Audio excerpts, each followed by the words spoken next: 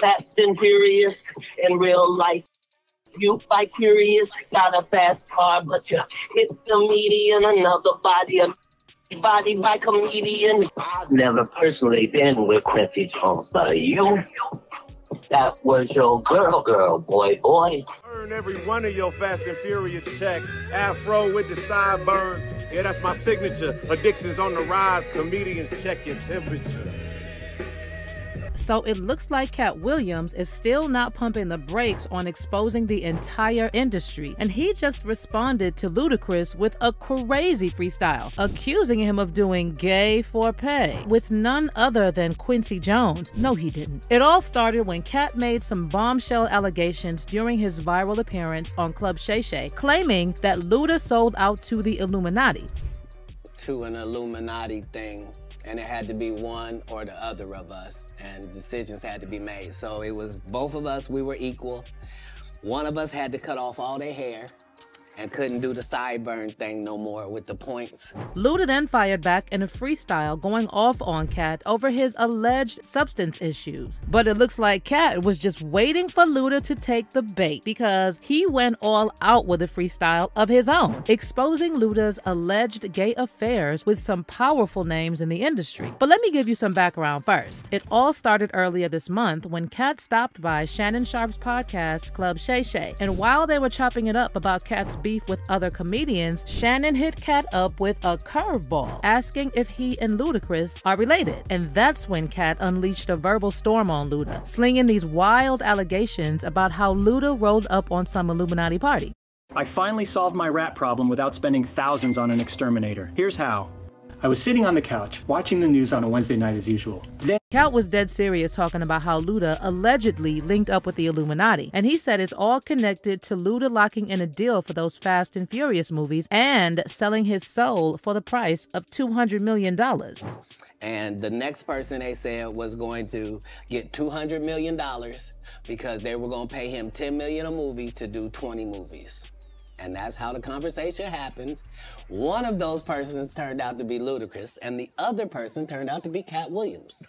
Now, one person ended up with a light skinned, ugly faced wife that's never done it. Remember, I told you that if I say that, it applied to seven people? Yes. Katt then threw another curveball, suggesting that Luda lost his blackness, going all in with that heavy shade. But it didn't stop there. Katt went straight for the jugular, launching a wild dismissal aimed at none other than Luda's wife. Now, when it comes to Luda's wifey, Katt wasn't pulling any punches. He called her a light skinned, ugly face and said all these black comedians and rappers who made a pact with the Illuminati got a light skinned wife as part of the deal. It's part of what they give you. Okay? I didn't get it. I'm not mad about it. How much money they give? But Luda wasn't gonna let all that slide, and he responded to Katt in a freestyle, telling him to fall back and check himself. But Luda hasn't dropped anything in a minute, so the fact that he rushed to the studio, scrambling and scraping to do a freestyle, if he says it's a freestyle, then it's a freestyle, must mean Katt's words hit a nerve, honey. Rapping on Kanye West's Devil in a New Dress beat, Luda kicked off his diss track by giving a shout out to Snoop Dogg and setting the stage for the showdown.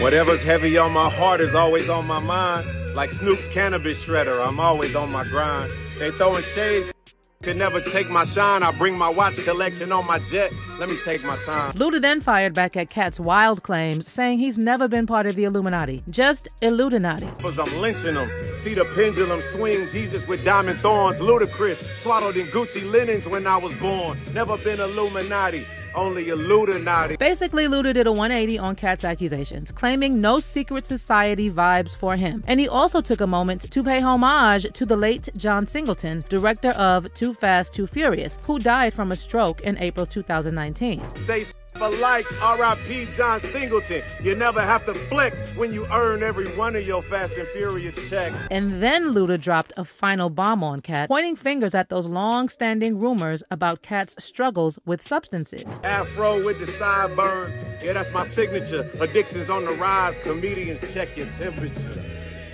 Now, I guess Luda has some witty bars there, but fans are not letting him off the hook that easily. It's like folks are reading between the lines and sensing there's more to the story. Because Luda might have clapped back, but it seems like Katt's words hit home. One fan said, You came out of retirement over a comedian? Yeah, Katt was telling the truth. And another one wrote, Katt, 2.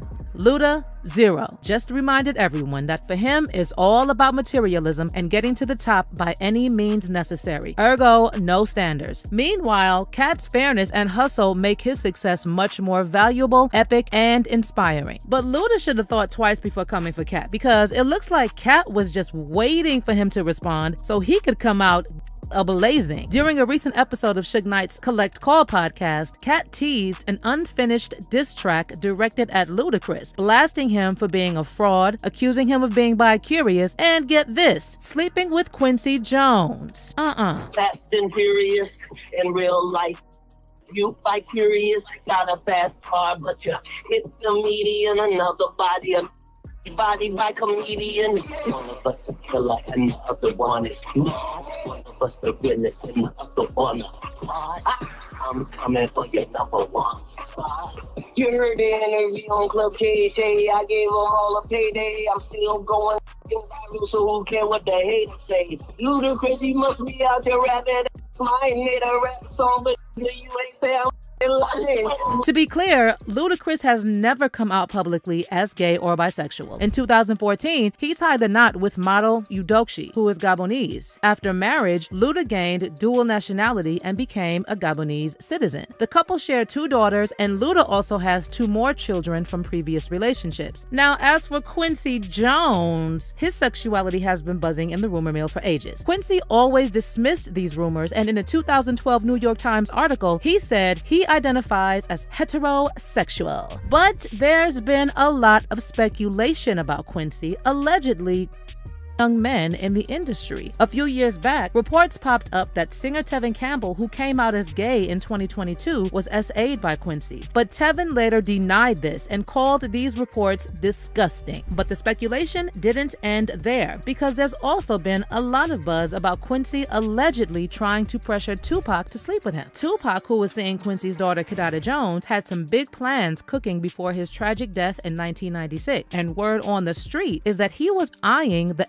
exit door at Death Row and thinking about signing up with Quincy's label. But rumors have been swirling for a minute that Tupac turned down Quincy's offer after Quincy put forward a questionable proposal. Now, this tea supposedly got spilled during Tupac's sit down with Angie Martinez for Vibe magazine. But here's the kicker you can find only some parts of that interview online, and there's a huge chunk missing. Turns out that interview was a marathon, clocking in at over two hours. But when Angie aired it, she only dropped 12 minutes of the whole thing. When Billboard magazine asked her what's the deal with holding back, she claimed she was worried Tupac's words would fuel the East Coast versus West Coast beef, which was already hotter than a summer day at that time. But there's no way Tupac was only dishing on the East Coast beef for two whole hours, and rumor has it he dropped some bombshells about Quincy Jones. And here's where it gets wild. That part of the the interview apparently leaked right after Pac's passing, but then it got swept under the rug real quick. Folks who were around when this first hit the streets swear they heard Tupac straight up saying he cut ties with Quincy because Quincy had the audacity to ask for a questionable favor of the intimate kind. And let me tell you, one of the heavyweights in the industry, Professor Griff, he was out here claiming Quincy went to great lengths to bury that secret. Griff even went as far as saying Quincy had folks taken out just to keep things things hush hush, allegedly. But wait, it gets crazier. Professor Griff spilled the tea that Quincy supposedly set up some kind of wild